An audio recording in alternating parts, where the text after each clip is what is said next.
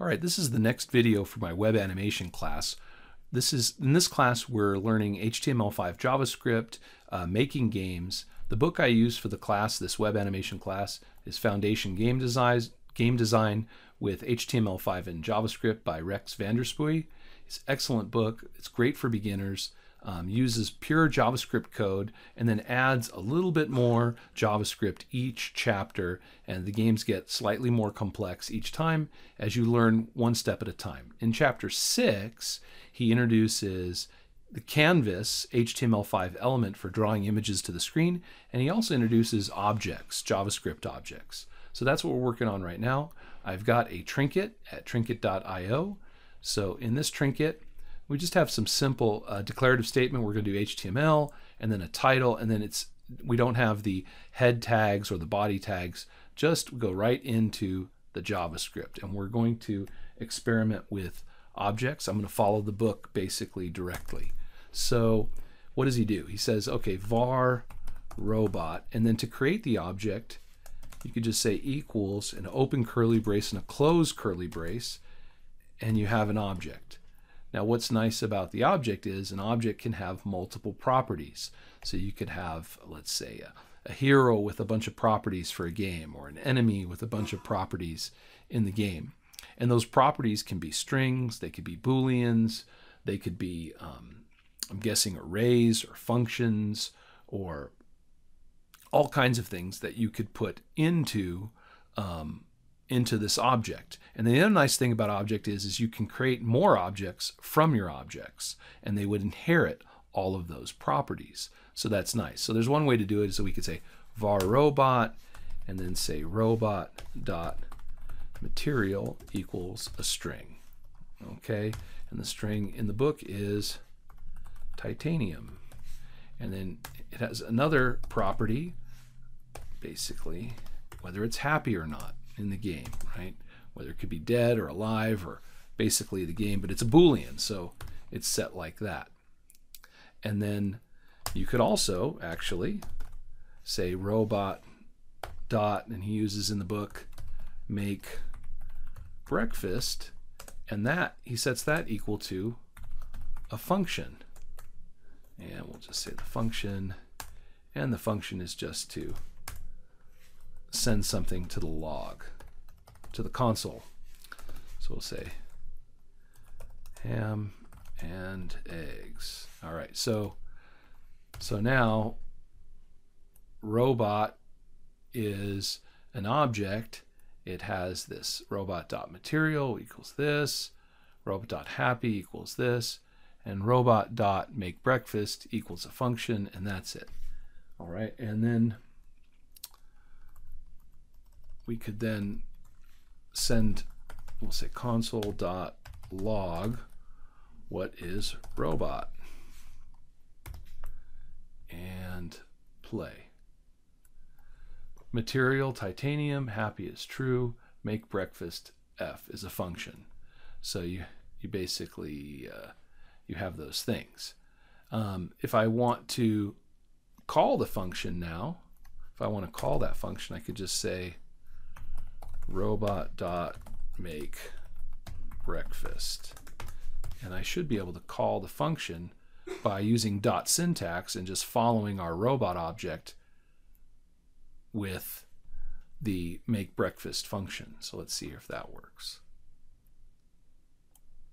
Ham and eggs, there it goes.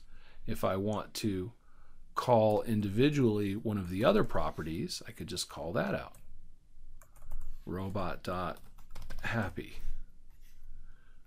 Um, but since it's just a property, I'm probably going to have to send that to the console. Yep, let's send that to the console. Uh, robot.happy, and we'll clear this just to show that we clear it, and play, true. Robot.material, and play it, and titanium. All right, and if I want to change any of those things, I could change it on the fly by just issuing another line just like that, setting robot dot material equal to another string Like in the book, he uses plastic. Okay, so that sets it to a different, you know, makes it equal to something else. All right. The other way that you could create this, all right, so I'm going to remove this. The other way that you could create this is to set up your object like this and say, okay, var robot, robot equals open curly brace, close curly brace, and then set the attributes one at a time here. So if you do it this way, you say material colon and then equals the string titanium. And then you put a comma between each element in the object. So happy colon equals true, comma, make breakfast colon is a function. And I could put it all in one line here. Function console.log ham and eggs. All in one line. Okay, so you can see here it has string property, it has this property which is a boolean, and then this property which is a function. And I can just add more items to this as I need it. And I say play and let's see here.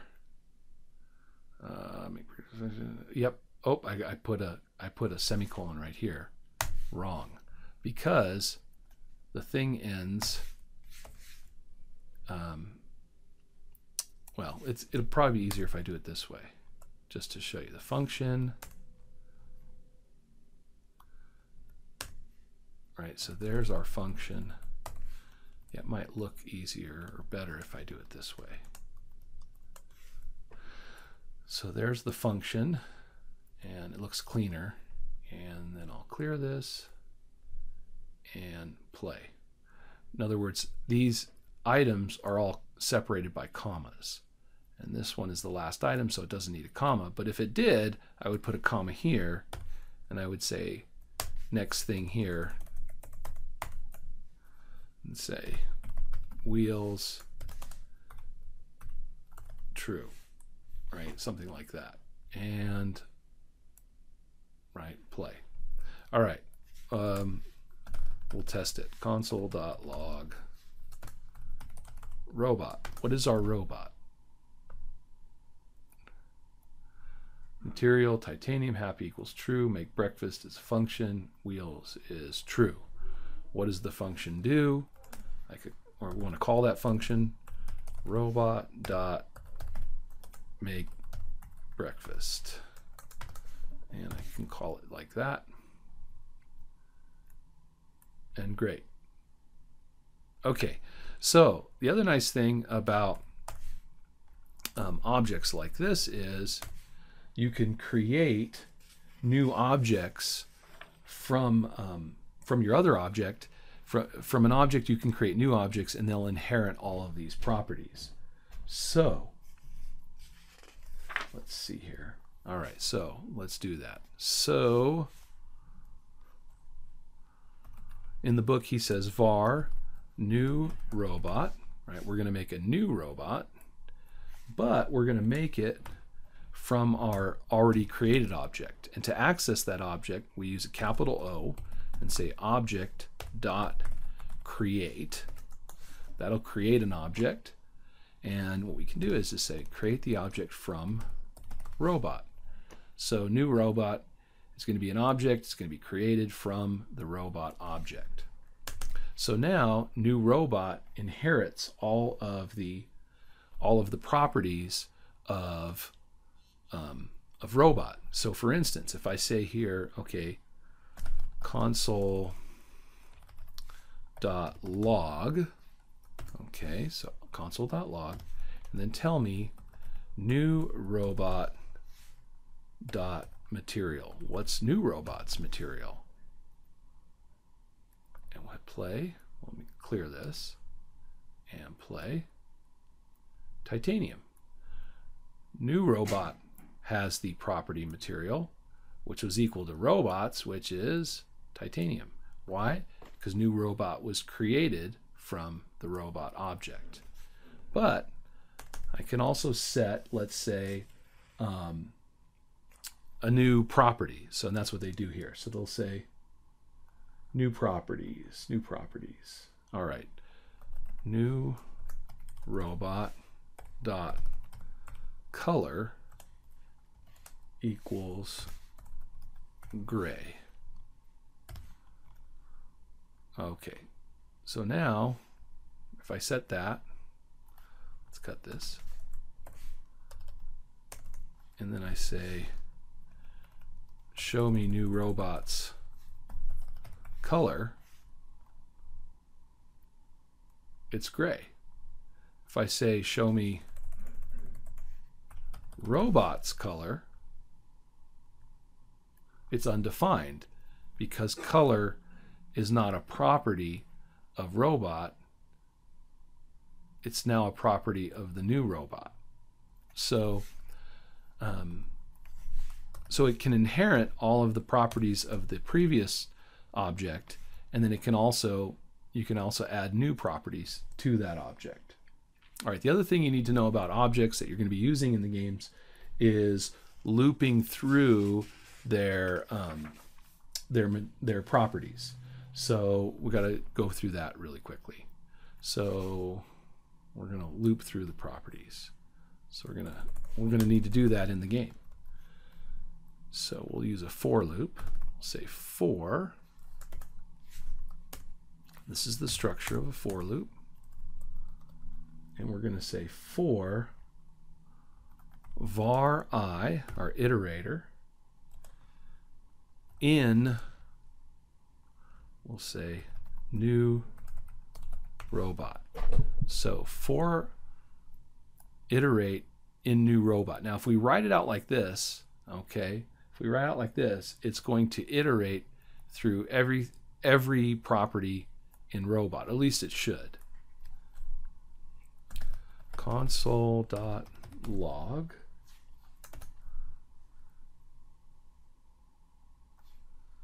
whatever i is, it's an iterator, right? i plus, let's give it a little string here,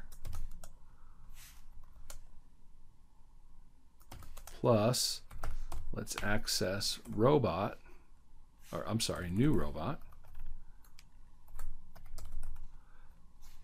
and in between brackets, we'll say give us whatever the whatever iteration we're in, whatever property we're in. All right, let's see here. And we'll clear this and play it and see what happens. Color gray, material titanium, happy equals true, make breakfast as a function, there it is, and then wheels equals true. So you could see here that it went through each item in the in the new robot object. Notice it went through them. Looks like they went through them. Yeah. So, well, that looks pretty good. So it basically looped through and showed us each item in the in the object.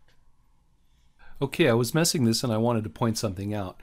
What's interesting here too is that in the book, he's looping, he's creating a loop where you loop through um, and uh, your, your, your incrementer, your var i here in new robot, this is going to loop through each element in the new robot object or each property in the new robot object. And then here you're sending it to the log and you could say here it says i plus and then a little string here, just the colon and a space, and then it, it says in new robot, and then passes i in between brackets, which reminds me of an array, but that's not really what's happening here. What I believe is, is happening is that at this point, var i in new robot is each element or property in new robot. So essentially, what it is is it's basically doing, you know, new robot dot material. That's how it's accessing each piece. And then on the next one, it would be new robot dot happy, right? So that's how you access each element or each property inside of the object.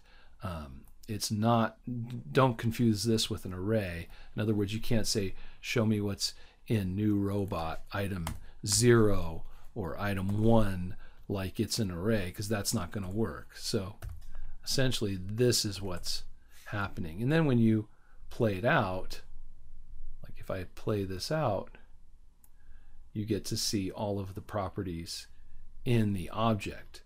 But don't let this confuse you. That's not that's not what's happening. In other words, if I tried to say, show me or uh, log for me, and if I took this right here and uh, whoops, cut it out, maybe got rid of this and pasted it in here and said, just show me new robot and tried to say what's like item zero as if it was an array or something. It's not. So that's going to be undefined, you know, or item one, right? That's going to be undefined because that's not what this is. It's not it's not an array. So I just wanted to point uh, that out.